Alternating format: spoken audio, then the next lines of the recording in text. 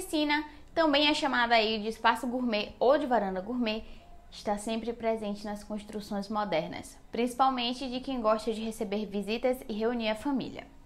Mas por acaso você sabe quanto é em média um investimento para construir essa área? Fica aqui comigo que eu vou te contar. Seja muito bem-vindo a mais um vídeo aqui do Decoração de Casa. Muito obrigada por nos assistir. E o tema de hoje por aqui é custos de uma área gourmet com piscina. Se você gosta desse tipo de conteúdo, já te peço para clicar aqui no joinha e se inscrever aqui no canal. Caso já seja inscrito, aproveita e ative as notificações, assim você não perde nenhuma dica nova por aqui. Os ambientes integrados caíram no gosto das pessoas na hora de criar projetos residenciais e a área gourmet se tornou o sonho de consumo de muita gente por proporcionar conforto e momentos de lazer. O primeiro passo é planejar baseado no espaço disponível para a construção. Para isso é necessário que o ambiente tenha tudo que seja necessário para que seja funcional.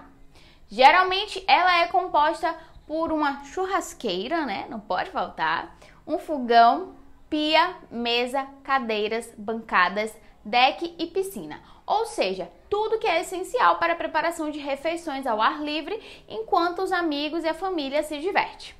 Por isso, gente, na hora de montar a sua, é ideal que você faça um planejamento do que é realmente necessário e sempre priorize a divisão e o conforto de forma segura.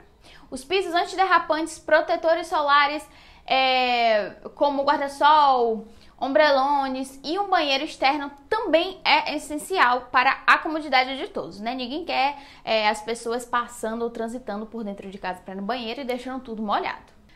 Materiais resistentes à água também devem ser considerados, além de espaços para organizar os utensílios utilizados na área, como boias, toalhas, itens de churrasco e tudo mais. É sempre importante ter o auxílio de um profissional da área e às vezes o que nós planejamos pode não ficar tão bacana é, na hora de tirar aí do papel. Por isso que existem alguns detalhes que devem ser analisados, como por exemplo a posição do sol. Se você possui um espaço pequeno, as piscinas sobre medida são excelentes alternativas e o segredo, gente, é fazer um orçamento com alguns profissionais na tentativa de encontrar um preço melhor. Existem também algumas opções a serem analisadas. Primeiro, qual é o estilo de piscina que combina com o seu objetivo e também qual é o valor destinado a ela que está aí é, definido no seu projeto.